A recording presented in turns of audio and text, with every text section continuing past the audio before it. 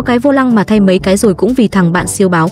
Vặn cái kiểu gì bung luôn cái vô lăng gặp ngay cuối tháng rất cần xe để chở hàng. Nó nói mày cứ yên tâm, tao có cách để thay mới mà không mất tiền. Nó tháo luôn cái nắp vặn vòi nước ở nhà mình lắp vô, giờ vòi nước ở nhà đang chảy tự do phải về gấp để khóa lại.